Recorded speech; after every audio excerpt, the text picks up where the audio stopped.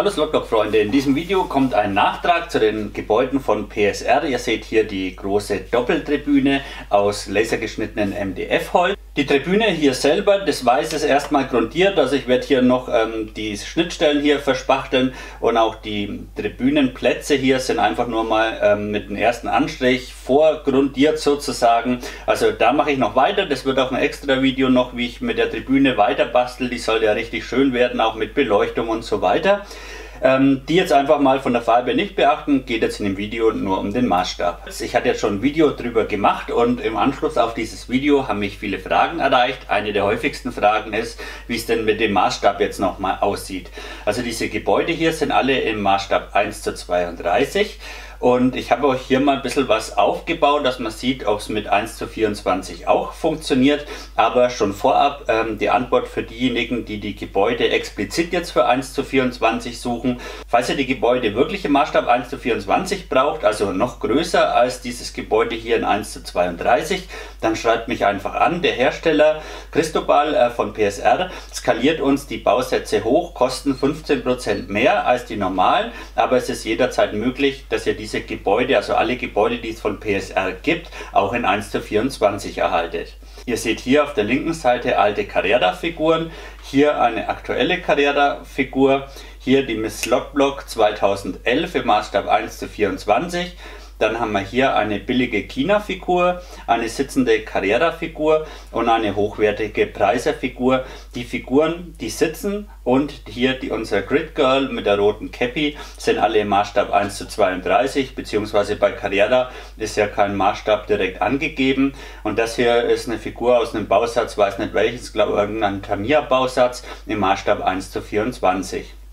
Wenn man sich so jetzt anschaut, also stimmiges Bild auf jeden Fall für die Figuren in 1 zu 32. Die Beine hier reichen bis zur Bodenfläche, also es ist ideal ausgelegt. Eine sitzende Figur in 1 zu 24 habe ich leider nicht hier zur Verfügung. Eine 1 zu 24 Figur würde schräg sitzen, weil die Beine eben länger sind, würde dann irgendwie so aussehen. Das heißt, für die Figuren ist die Tribüne in 1 zu 32 ausgelegt. Schauen wir jetzt mal auf die Bahn runter. Da habe ich drei Fahrzeuge aufgebaut. Ich habe hier einen 917er in 1 zu 43 von Kyosho, Jägermeister in 1 zu 32 von Sideways und den neuen Carrera Ford Capri in 1 zu 24. Wenn man sich jetzt so das Bild anschaut, setzen wir die Zuschauer mal um. Ein paar zumindest. Die schöne Oma von Preise auch. So, und wenn man sich das Bild jetzt so anschaut, natürlich 1 zu 43 passt gar nicht. Die Figuren das ist einfach zu groß der Unterschied. Aber wenn man sich jetzt 1 zu 32 und 1 zu 24 so anschaut, könnte schon einigermaßen gehen. Also bei mir auf der Bahn, ihr seht sie hier im Hintergrund oder hier, meine Bahndekoration ist auf 1 zu 32 ausgelegt. Ich fahre zwar meistens 1 zu 24, aber das Bild in sich ja, ist nicht wirklich stimmig. Wenn man jetzt den VW-Bus mit dem Capri vergleicht, ist natürlich hier stimmiger. Aber jetzt nur mal bezogen auf die Tribüne und mein Auto hier in 1 zu 24 ist schon machbar, man kann damit leben. Ihr müsst es nicht, wie gesagt, ähm, ihr könnt die Gebäude auch in 1 zu 24 haben, aber bei mir ist es so, ich habe relativ wenig Platz hier noch und bin froh, wenn ich die Tribüne jetzt nicht in 1 zu 24 habe, deswegen gehe ich bei meiner Bahn ähm, mit den Gebäuden aus dem 1 zu 32er Bereich weiter. Schauen wir uns hier den Übergang nochmal an im Vergleich. Ich habe hier den 124er Quad Capri, Figuren 1 zu 32, also hier fällt es nicht weiter auf. Im Gegenteil, die, der Übergang wirkt fast für den großen Maßstab geeignet. Wenn ihr euch die Stufen hier anschaut, die sind eigentlich sehr hoch. Hier zum Vergleich ein lackierter Aufgang von Carrera, von dem alten Gebäude. Da seht ihr mal, die Treppenstufen sind hier minimal kleiner.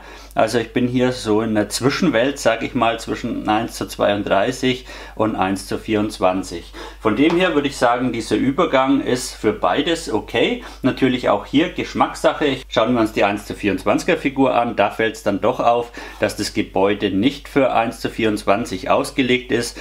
Die, das Geländer hier hört kurz über Kniehöhe auf. Die arme Frau ist hochgradig absturzgefährdet. Wollen wir natürlich nicht. Also die Frau braucht auf jeden Fall ein Gebäude in 1 zu 24. Haut es mir den Platz nicht hin, wie bei mir jetzt hier auf der Bahn. Dann gehe ich natürlich auf die 1 zu 32er Gebäude. Das Mehrzweckgebäude hier ist einfach mal grundiert, die Fensterrahmen sind noch nicht eingeklebt. Wie auch bei den anderen Gebäuden geht es jetzt wirklich nur um ein bisschen Maßstabsvergleich.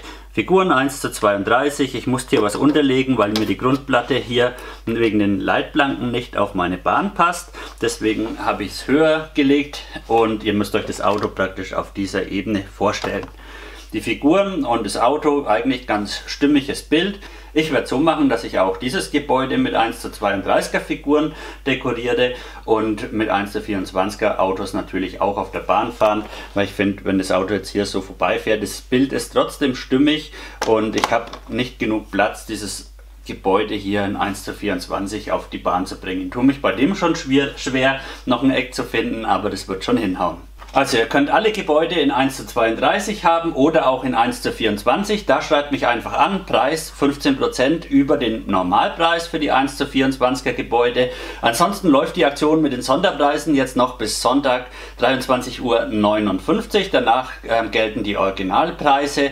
Bis dahin läuft noch die Sammelaktion, also wenn ihr reduzierte Preise haben wollt, schaut einfach bei mir am Shop vorbei, Link unterhalb vom Video. Würde mich freuen, wenn ihr bei mir bestellt. Wenn ihr Fragen habt, einfach mich anschreiben. Bis zum nächsten Video. Roland von slotblog.de